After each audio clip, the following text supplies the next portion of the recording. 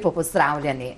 V tokratni oddaji gostimo novinarja, urednika, menedžerja, predavatelja in svetovalca, ki se že vse življenje srečuje z učinkovitim komuniciranjem. Lepo pozdravljeni, Igor Savič. Ja, hvala lepa za povabilo. Komuniciranje je nekako tisto, s čimer se sedaj še bolj ukvarjate, o tem bova malo pozneje. In komuniciranje bo neka rdeča nit najnega pogovora. Zato malo razloživa ta pojem učinkovito komuniciranje. Zveni malo tuje. Ja, seveda, to je, to je en tak zakompliciran pojem, v resnici gre pa preprosto. Ne? Jaz bi rad, da vi nekaj naredite, ne? ali pa da vi nekaj o meni mislite in kako bom to dosegel. To je pa zdaj, če smo v osebnem kontaktu, vam moram jaz kaj povedati o sebi na tak način, ali pa vam moram povedati kakšno zanimivo zgodbo, uh, ali pa vam moram kaj povedati o svojem življenju, da vam ratam zanimiv. Ne, -huh. uh, če gre pa za firme, rata pa to mečkan bolj zapleten. Uh, Dejstvo je pa naslednje. Danes dobre firme sploh ne morejo več delati, brez da bi se zavedale, kaj to pomeni uh, in kako naj do tega pridejo. Ravno danes sem se pogovarjal z enimi kolegi slučajno, ne? recimo taki, v enem takem zanimivem fenomenu, ko pridemo v trgovino ne? in vidimo tam celo polico nekih sladkih pijač od Coca-Cola in ne vem še kaj. Veste, kaj je to? To je bom malo poenostavil, uh -huh. to je mhm. pocukrana voda. Ampak mi si ne mislimo o tem, da je pocukrana voda na tak način. Uh mhm. -huh. Zakaj? Zato, ker nam je nekdo nekaj povedal o tem, zato, ker se je v naše misli vtisnilo nekaj, kar, kar, zaradi česar mislimo drugače. Uh -huh. In to od zadaj, to je pač komuniciranje, učinkovito je pa komuniciranje, če mi s pomočjo tega, kako to delamo, dosežemo svoj cilj. No, to je mogoče malo bolj tako razloženo. Ja, zelo razumljivo povedano. In če vas tako poslušam, eh, dejansko je potem komuniciranje sila pomembno, tako v zasebnem kot poslovnem življenju. Vse to v resnici vsi vemo. Vse dan ne mine, da ne bi prišli v službo, pa ne bi povedali kakšne zgodbe. Jo, veste, kaj se mi je danes zgodilo. Ampak zakaj povemo to zgodbo? Zato, da povemo nekaj vseb. Kaj, kdo smo, kaj mislimo, kaj bi radi. S firmami, s podjetji, z organizacijami je podobno. Poglejte, na trgu je toliko podobnih stvari. Kako ne jaz vem, ker se ne spoznam, kater avto je res v redu. Glejte, tam je avto, ima štiri kolesa, vsi imajo motor, vsi imajo volan. Kaj naj si jaz zdaj mislim? Kaj naj sploh vem? Nekdo mi mora nekaj povedati o tem. In firme, v resnici, dobre firme, pripovedujejo na nek način svoje zgodbe. Pripovedujejo zgodbe o sebi, o svojih izdelkih, o tem, kako mislijo, kaj so, odkot so prišle, kam grejo. Mal slabše firme pa ne pripovedujejo zgodb. Ampak veste, kaj se takrat zgodi? Veste, kaj se zgodi, če, če sam ne poveš zgodbe o sebi? Zgodbo, zgodbo o tebi pripoveduje nekdo drug. Da si pa vi predstavljate, da zgodbo o meni pripoveduje nekdo, ki me ne mara, nekdo, ne, ki ne, ima neke slabe spomine, nekdo, ki bi mi rad kaj slabega naredil. Kakšno zgodbo o meni pripoveduje? Slaba. In zato v resnici sploh nimamo nobene druge možnosti. Firme nimajo nobene druge možnosti, kot da vse pripovedujejo zgodbe. Zdaj se pa šele začne prava zgodba. Kako pravzaprav to povedati? To je pač. Ja, to je tisto, pristop, kar nekateri ne? pravijo vsebinski marketing, ne, ja. da je prava mala revolucija na ja, področju ja. oglaševanja. Ja, to se je zgodilo pa nekaj izjemno zanimivega. In prej bojo ljudje in firme to videli, lažji jim bo in boljši jim bo. Veste, kaj se je zgodilo? Ljudje ne marajo več oglasov. Mhm. Takrat, ko so na televiziji oglasi, ja? gremo kaj narediti. Ne? Točno to. to. Ljudje ne marajo več tega. Oglasov ne marajo več. Zakaj? Zato, ker oglasi so nekaj, kar nas zmotijo. Jaz gledam en lep film, poslušam eno lepo zgodbo, pok pa mi pade noter oglas za ne vem, pralni prašek. Pa jaz zdaj ne rabim pralnega praška. Ne? V tem trenutku. In temu se reče z angliško besedo interrupting marketing. Torej, marketing, ki temelji na tem, da te zmoti, da udira v tvoj prostor. In v zadju tega marketinga je neka misel, sej ni važno, če govorimo dobre zgodbe ali slabe zgodbe, važno je, da smo tam. Na nek način včasih res to tudi deluje, ampak zmeraj manj. Ljudje razvijamo obrambne mehanizme, omenili ste enega zelo zanimivega, celo vrsta drugih je.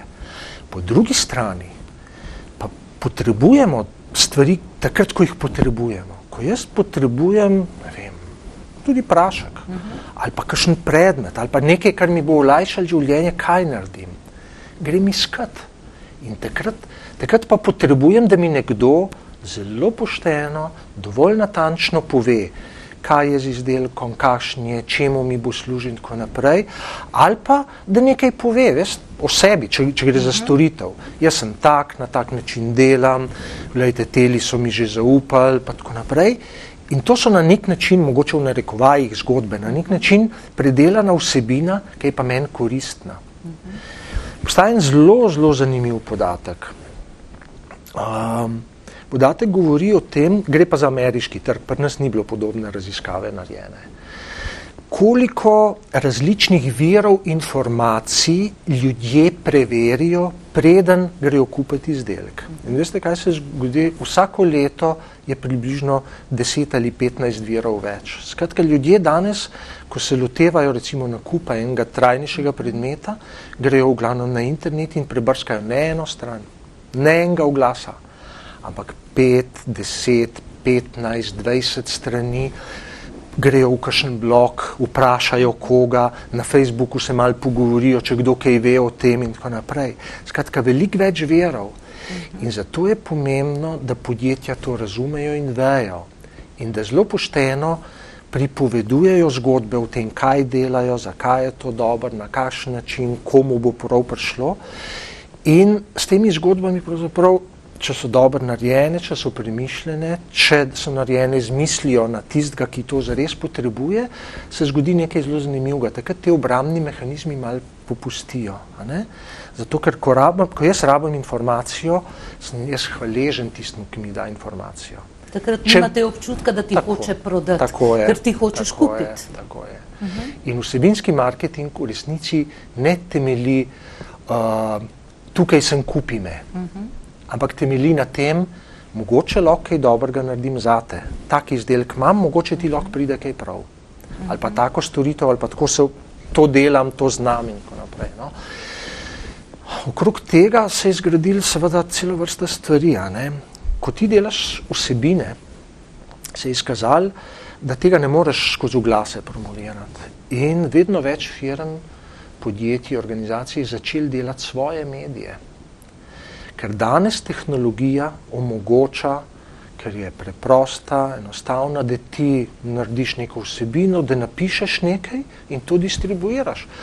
Včasih uporabiš kakšen medij, kjer, si, kjer narediš nekaj tako dobrega, pa takrat drugi distribuirajo na, na ja. YouTubu. Ne, povzamejo.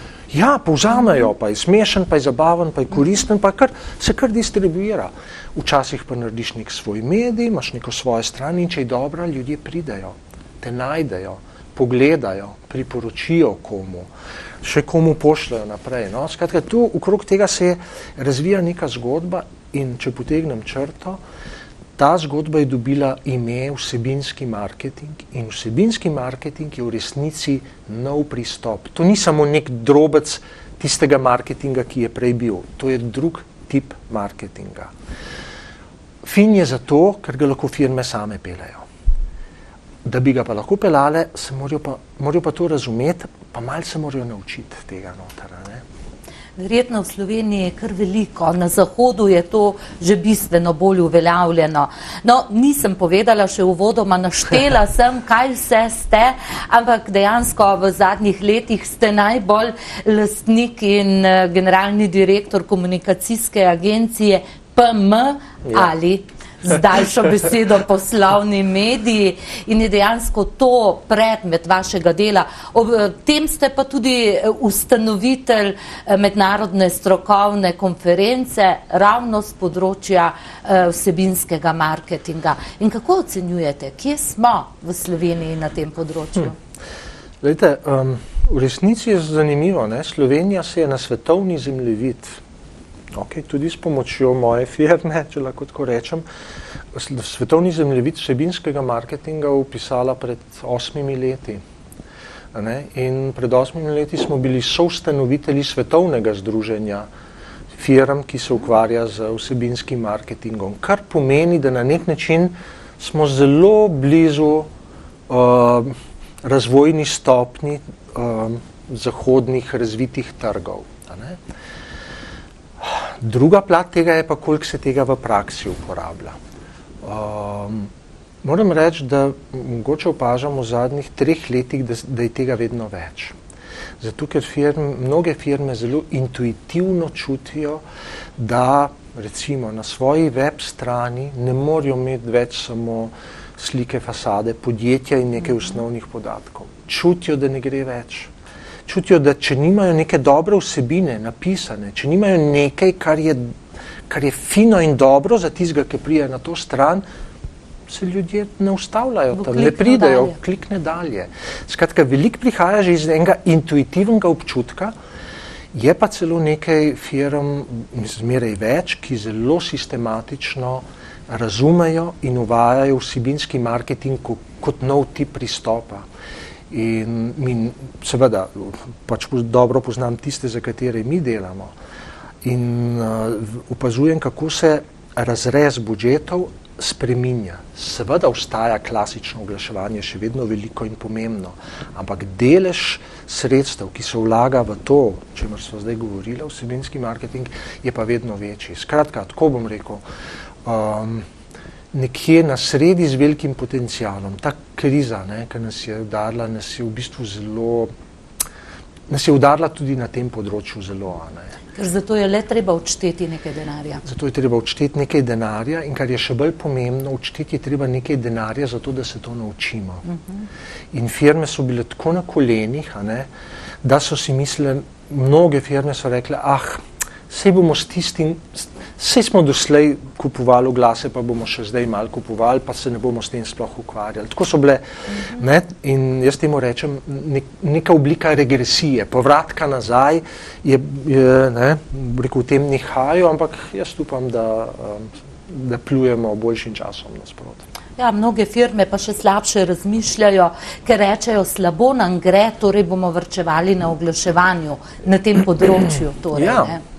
Seveda, ne, tako. Na oglaševanju naj kar vrčujejo, ampak v vsebinski marketing pa morajo vlagati, zato ker je tako generičen in včasih generira veliko odnosov, veliko kupcev uh -huh. in v resnici z manjšimi sredstvi. Ja, ampak dejansko je ta vsebinski marketing ja. zelo širok pojem ja, z mnogo, mnogo pristopi, ki so različni ja, od podjetja do ja. podjetja. Ampak, če že rečemo, eh, ljudje radi poslušajo zgodbe, moramo povedati tudi vašo zgodbo. E, niste kar tako postali strokovnjak eh, za nevsebinski marketing, neučinkovito komuniciranje. Ja. Dejansko vaša karjerna pot se je začela na RTV-ju in preden ste pristali do tukaj, ste, ste se nekako znanje, izkušnje nabirali v zelo različnih ja, medijih. Ja, ja.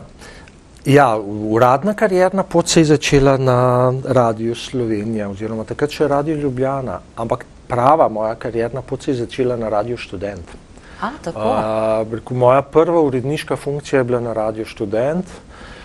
Rekel, krasni spomini, rekel, divje obdobje, solidarnost, uh, Poljska, nemiri v Evropi, mhm. iskanje kopica enih zadev, svobodna univerza v Ljubljani.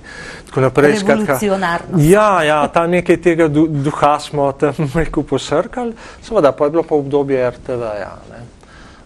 Zanimivo obdobje, ker sem se pač kalil kot novinar, ne. največ na radiju, pa predvsej tudi na televiziji. Ne.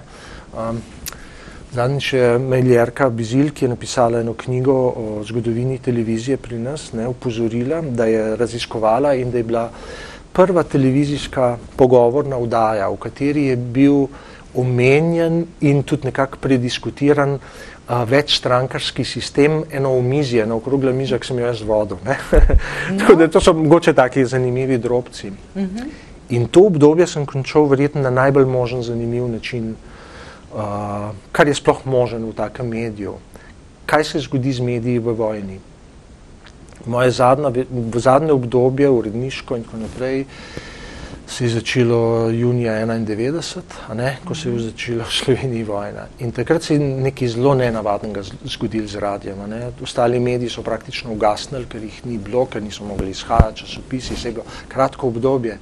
Radio je bil pa tako hiter, da smo mi takrat v nekaj urah spremenili kompleten koncept programa, vse in ljudi začeli obveščati in tako naprej. Um, o praktičnih zadevah, o vojaških zadevah, o reku, razmišljanjih.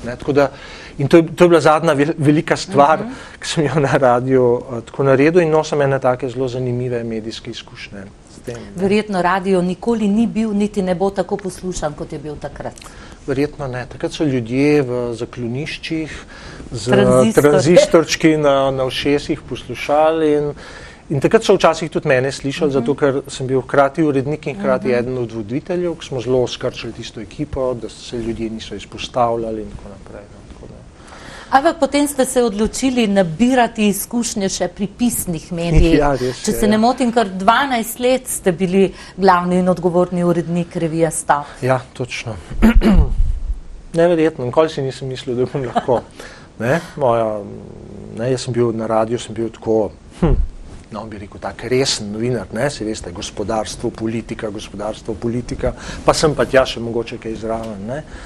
In potem, potem pa kar stop, ja, ampak je bila zelo dobra izkušnja, no. Stop sem v bistvu prevzel tudi po tem obdobju, ker takrat v, voj, v času vojne in te prve krize, ne, so tiskani mediji zelo zanihali, ne. Predvsem tisti, ki niso ki niso nekako šli v štric s časoma. Uh -huh. tako, in en od teh je bil tudi stop.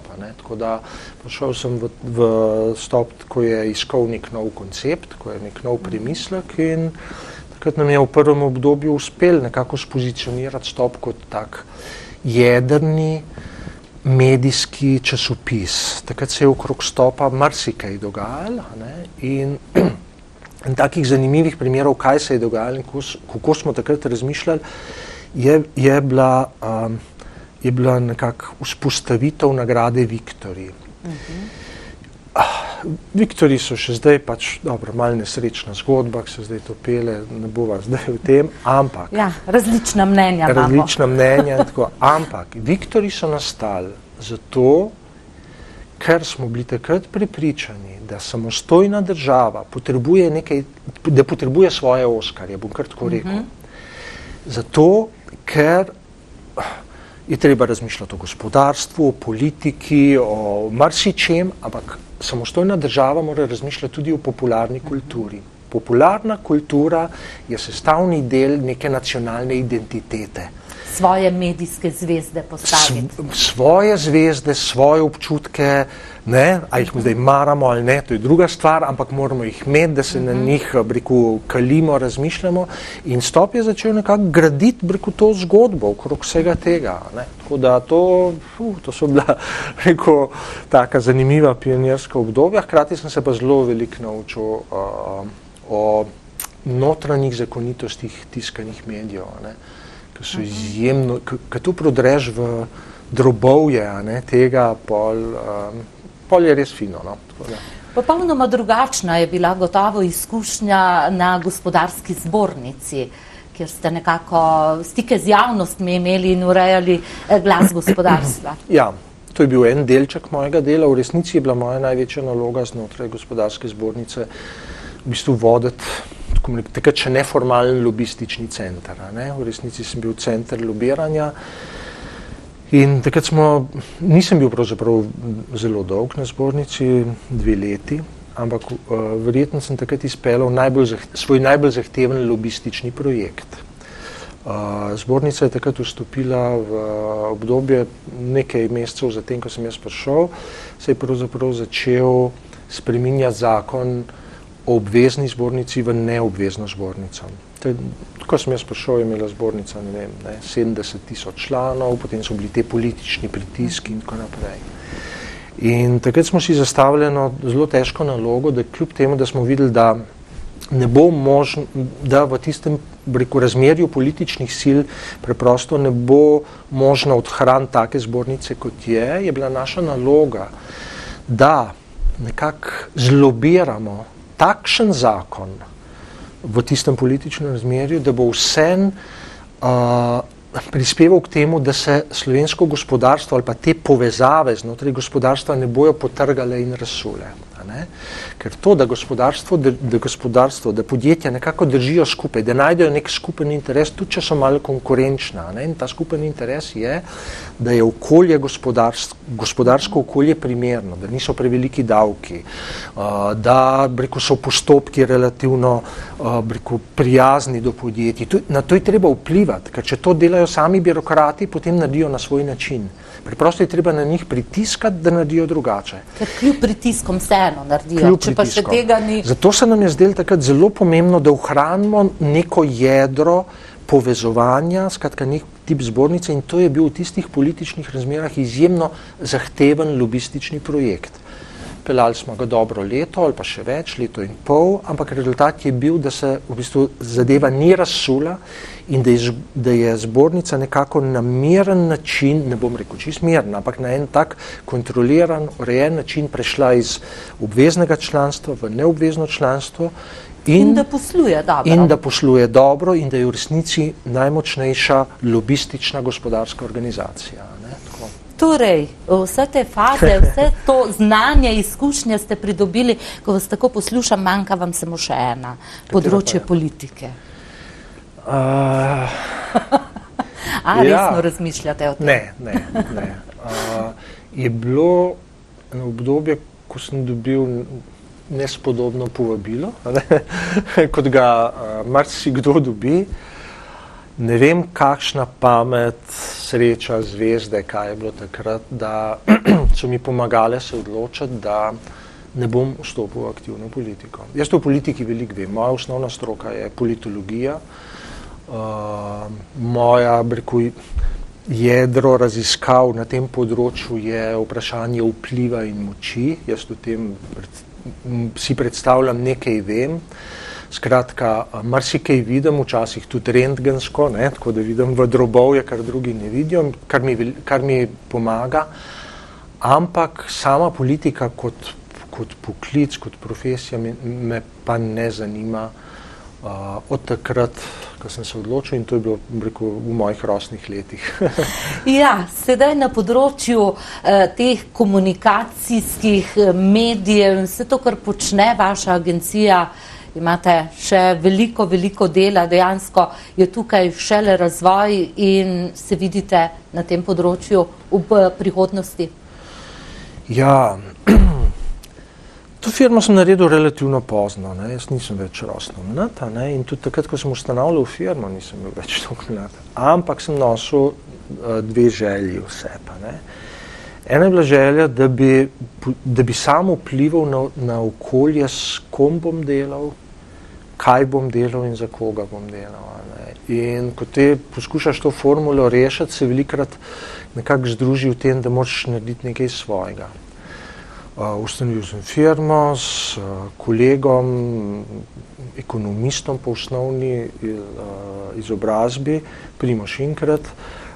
Je ta, hkrati bil pa tudi urednik revije Kapital. No, in potem sva tako združila in če zdaj pogledava v prihodnost, je na nek način zelo zanimiva, ker pomen reku, pravega znanja o komuniciranju, o tem, kako morajo firme to početi, kaj za to rabijo, vedeti, se bo povečeval.